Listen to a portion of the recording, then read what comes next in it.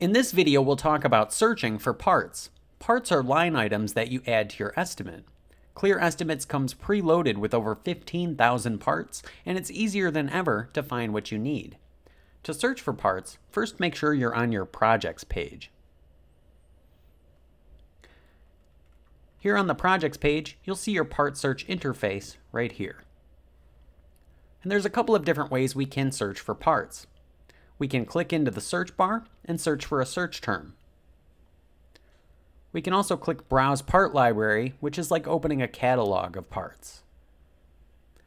To add in a brand new part, we can click Create Custom Part. Or to add a list of parts from a template, we can click Add Template. In this video, we'll just be focusing on searching with a search term and browsing the part library. So I'm going to click into this search bar here and I'm going to type in a term. I'm going to type in drywall. Do keep in mind there's suggested parts for you down below as well, so you can always click these search terms if you'd like. But I'm going to press enter and search the part library for drywall parts. Clear Estimates is going to show us all of the parts in Clear Estimates related to the term drywall. Every part in Clear Estimates is broken out by category, so on the far left you can see the category where that part lives. In the middle you'll see the part description, and each part comes preloaded with a material cost and a labor cost, in most cases both. You'll see a cost per unit for material, and you'll also see an install time per unit in hours per unit. On the far left, you'll notice the star icon. That means the part has been favorited. Favoriting a part makes it easier to find that part later, and it will pop up first anytime you open a specific category. You'll always see your favorited parts first, and if we scroll down further, we'll see the rest of the results. Now there's a lot of different results here, so if we want to get more specific, we can filter by category. Since everything is broken out by category, this makes it easier to isolate specific types of parts. So we notice this subcontractor drywall budget part is included in 28 wall coverings.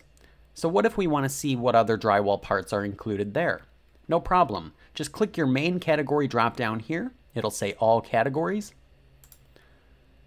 And this is where you can see all of the different categories we include. So I'm going to find that wall coverings category, that's 28. And now my search has been narrowed, so I'm only seeing parts for drywall that relate to drywall for a wall. We could do the same thing for ceilings. If I come down to 29 ceiling coverings, it's going to only show me parts in the ceiling category related to drywall. Changing category is as easy as typing in a term. So if I type in wall, I can easily find wall coverings. Important to keep in mind that under every main category, there are subcategories to help you narrow your search. Here in the middle, you'll see your subcategory dropdown. If I click that, I can see specific options for things like drywall, plaster, repair, ceramic wall tile, and more. So I'm going to isolate parts just for drywall.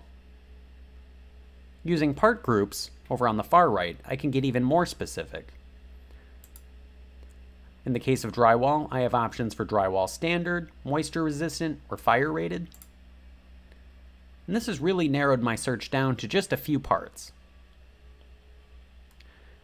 We can also click Browse Parts up here in the top right to open up the catalog of parts we include. This is the same as if you click Browse Part Library here on the Projects page.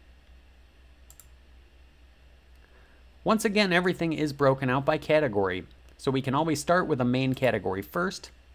We offer everything from project preparation down to demolition, and then further down we'll get into the building portions such as framing, gutters, doors, windows, skylights, decks and porches, and much more. There's a remodeling library first, and further down is a handyman library, typically for smaller scopes of work and repairs. So let's just say we want to add in some wall framing. I'm going to click category 10, wall framing.